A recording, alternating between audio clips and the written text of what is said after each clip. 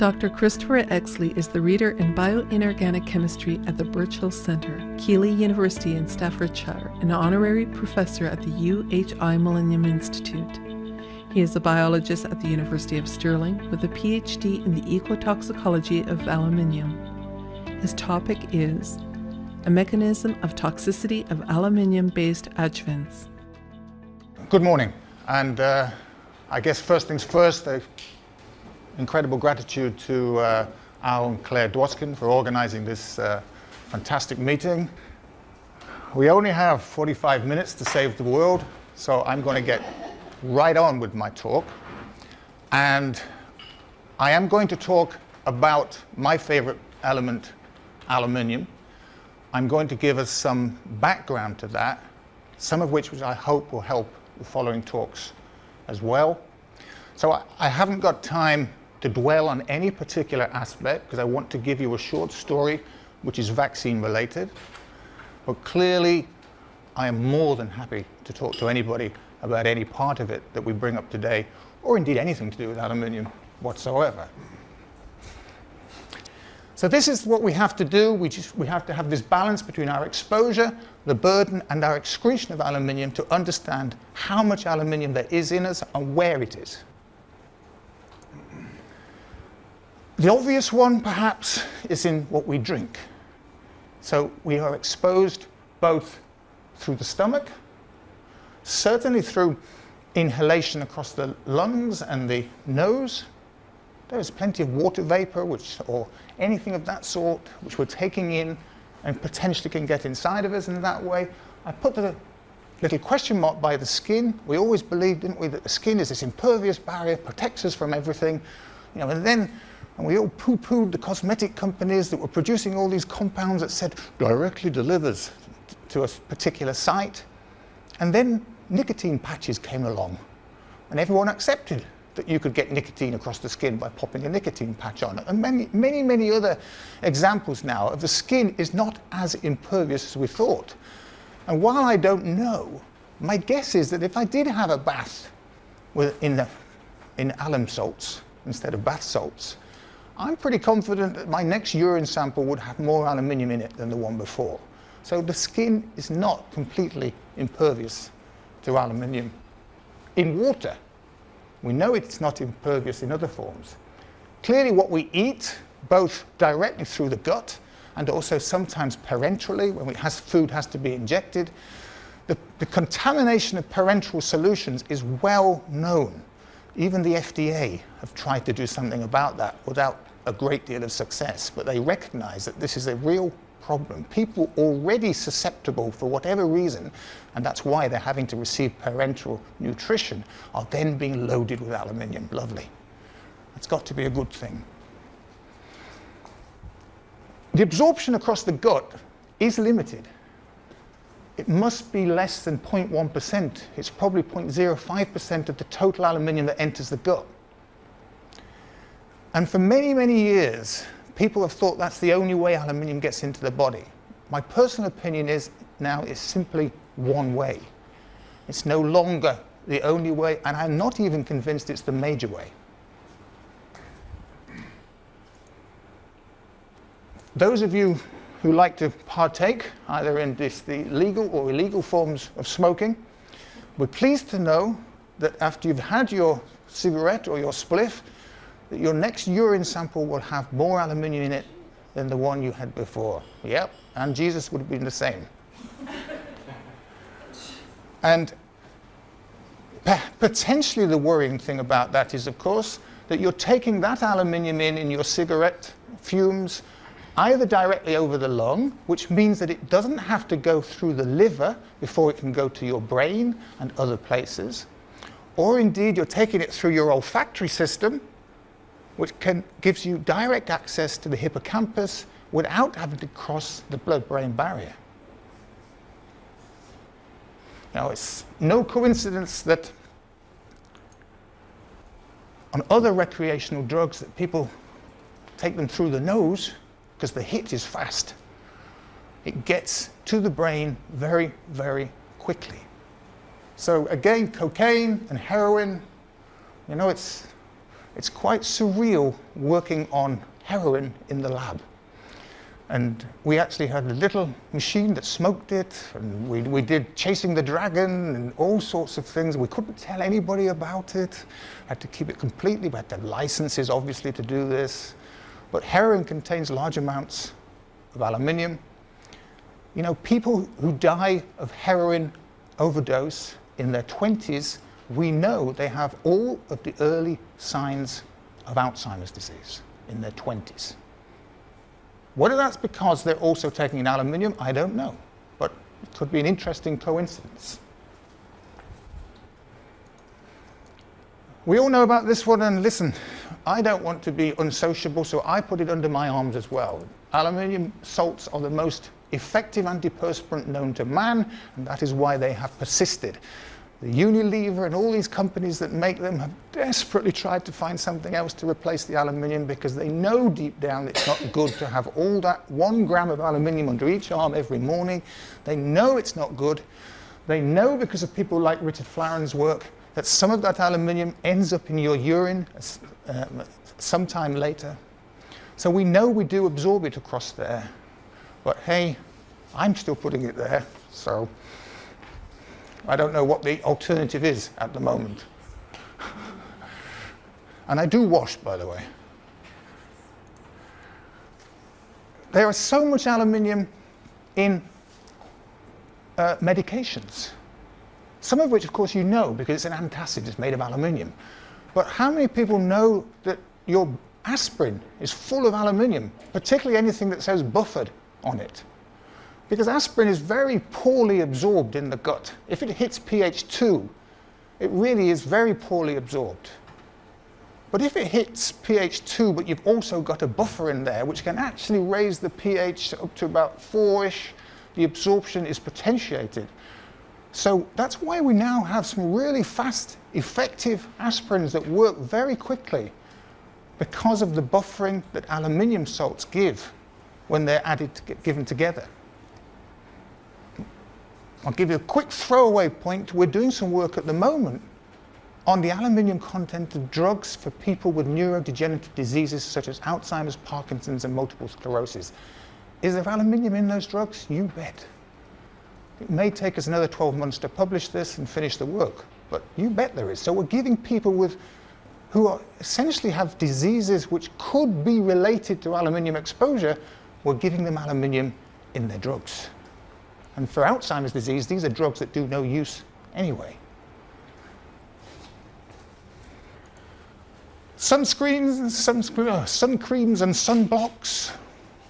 I never use these things for many reasons. If I start talking about this now and coincidence of melanoma and the use of sunscreens and this perfect curve that we've seen quite a few of, causal or not, they do contain large amounts of aluminium, aluminium is a pro-oxidant.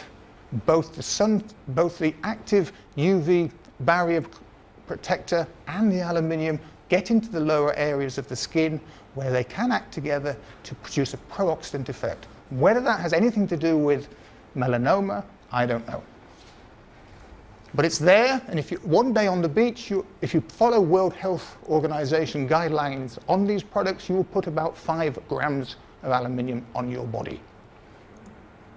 This is our latest work on baby feeds, quite unbelievable, and almost more unbelievable that no one wants to do anything about it. So, in the, United, in, in the European Union, we can have 200 micrograms of aluminium per litre in our water, so that is a maximum level. I think it's probably the same in the States. 50 is the recommended amount, 50 micrograms per litre these are not health-based things, but they're still legislated. And it's the only legislation for aluminium that exists actually with respect to human health. However, in baby feeds, you've got orders of magnitude more aluminium in every major baby feed that we looked at. And we looked at the 15 most popular baby feeds in the United Kingdom. And the one that had the highest amount of aluminium in it, nearly one milligram per litre, five times the amount that would be normally allowed at the maximum water, was for preterm babies. Preterm babies. How much? Hmm? Nearly, nearly one milligram per liter. Of course, here we are in our, where we are today. So that is an also exposure. And we also know from the work of Richard Flarend that aluminium in adjuvants does appear in our urine. So we know that it does get all over the body. So, living in the aluminium age does ensure our body burden of aluminium. And our body burden is, is everywhere, but there are certain places where it's most likely to accumulate. So for example, you know, you rub your arm, you remove quite a few skin cells. In doing so, you slough off quite a lot of aluminium that's in those skin cells. In other words, any cell preparation which is turned over quite quickly, there is less chance for aluminium to accumulate. Those cells or tissues where they are not turned over quite so quickly, or not turned over at all, such as your neurons, these are obvious targets for the accumulation of aluminium. So the brain, the neurons, things like the bone, things like macrophages, things like heart cells, long-lived tissues and cells are obvious targets for an accumulation of aluminium.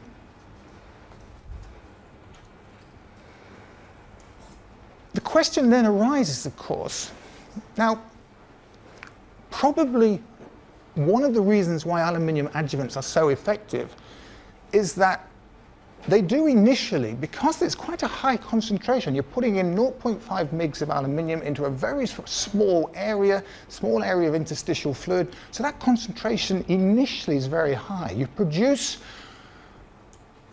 a localized effect, which could then cascade as it gets diluted into the lymph, other interstitial fluids, the rest of the body. In other words, probably for adjuvants to work effectively, there is some sort of threshold. There is a threshold effect. Now that threshold effect can also apply anywhere in the body. So wherever you have an accumulation of aluminium which perhaps exceeds a threshold which is as yet unknown, then that accumulation of aluminium could act as an adjuvant and it could act as an antigen. What how does that impact on our thinking and what we're thinking about today? I mean, I've just put this one up because the brain is an area that we're working on quite a lot, and we were recently invited to review aluminium in the human brain. We've been invited because we're actually doing the largest study of the aluminium content of human brain ever, ever attempted at the moment where we will probably manage to get about 100 human brains analyzed. We've done about 80 or so at the moment, and then our funding, well, our funding ran out actually in December, so we'll have to stop. But even 100 brains, looking at all four lobes, we're going to present some very exciting data on how much aluminium there is in the brain. But more importantly how much is where is it? Because it's focal accumulations that really matter. Because those act both potentially as thresholds and also as sources for biologically reactive aluminium. This schematic is just to give you some example of how potentially complicated it is. And you know, politicians love using this word complex, so I try not to use it. Because actually, it might not be so complex. It's just that when you don't know, it does appear so. I think when we do know, it will be relatively simple. I know that sounds like a bit of a paradox in itself, but I think that is the case. It's only our lack of knowledge which makes this look complicated. Here is an example of an accumulation of aluminium in a human brain. What we've actually got here is a plaque which is about hmm, getting on for 70, 80 microns across. And the area that's stained bluish purple shows the presence of aluminium. The area stained red shows the presence of a protein called beta amyloid, which is implicated in Alzheimer's disease. But I show this particular picture only as this could be, for example, sitting in the brain. This could surpass a threshold for aluminium being an adjuvant and uh, or antigen in the brain. Just imagine you have a higher than normal body burden of aluminium. You are potentially accumulating it in certain areas in the body. You then receive multiple vaccinations, all of which contain some aluminium. In those multiple vaccinations, aluminium is acting as adjuvant and antigen. It sets off cascades of potential responses, which I believe potentially can then cascade around the body, setting off potentially other stores of aluminium, whether they be in the brain or the bone, the connective tissue, the places where we might expect to find high or raised levels of aluminium. Could this type of cascade effect explain why an aluminium adjuvant could then, in some individuals only, produce such adverse effects and such generalized adverse effects. And many of the adverse effects that you see in people who have suffered following vaccination are very similar to the known effects of aluminium intoxication. So we do have situations of aluminium intoxication, and we do see many similar effects, such as the chronic fatigue, the muscle spasms, many things that aluminium is known to produce. This is the paper that's uh, available online, but not, I don't quite have all the, the rest of the details yet. Anyway, there's some good news. Even if what I said was bad news, there is still some good news. The good news is that, of course, we have the excretion side of things, we are pretty damn good at keeping aluminium out of our body, but, but we don't manage it. However, the urine could well save us. We have fridges full of human urine. It's not so bad when it's cold. It's working with it when it's got back to room temperature that uh, people object to. I have one student, she's doing an absolutely fantastic job. I'll show you a little bit of her work in a second, who has done this for three years. And what a challenge that is, working with human urine for three years. She's working on human urine for three years because a few years ago we published a paper which showed a very simple way to get aluminium out of human beings. If you give them a, a, a, mineral water which is rich in silicon rich in something called silicic acid, SiOH4, the biologically available form of silicon, they pee aluminium in their urine. You can titrate aluminium from your body with a silicon-rich mineral water. And in this case, we were able to show we could do so in people with Alzheimer's disease. We now have programs up and running for healthy volunteers, people in their 20s, we have a program up and running for Alzheimer's disease where we're extending the period of time over which they are taking the silicon-rich mineral water to around 13 weeks. And we're just starting a program for Parkinson's disease. Again, without, I'm not giving anything away by telling you that we have, are going to be and have already been successful in removing aluminium from all of these types of people by simply giving you something you can buy on the supermarket shelf. I'm going to break all protocol and tell you that the one water that worked incredibly well was a water called Volvic in the United Kingdom, made by a French company called Volvic, made by a French company called Danone. But I can't tell you that now because since Danone went into an agreement with us to work in this area, they then told me they no longer want to work with us. They no longer want to be associated with the possibility that aluminium, removal of aluminium might be an important thing. They will benefit from it at some point because they are one of the few companies that have a silicon-rich mineral water. The one that we work with as well is a company called Spritzer, who will be more than me, happy for me to mention them in, in Asia, and uh, based in Malaysia. And their, their mineral water is even more effective than Volvic. It contains even more silicon. There are no downsides to silicon. Silicon is good. Silicic acid, SiOH4, is good. I haven't got time to tell you why, but believe you me, it is. And here's a quick snapshot. This is just one individual. All we really need to see, we've got excretion of silicon in the urine, that's the black. We've got excretion of aluminium and other metals in the urine, the aluminium is the red. against time for, for an individual having drunk a silicon-rich mineral water. I think we can all see that the aluminium and the silicon come out together. We have this for about 25 healthy controls, males and females now.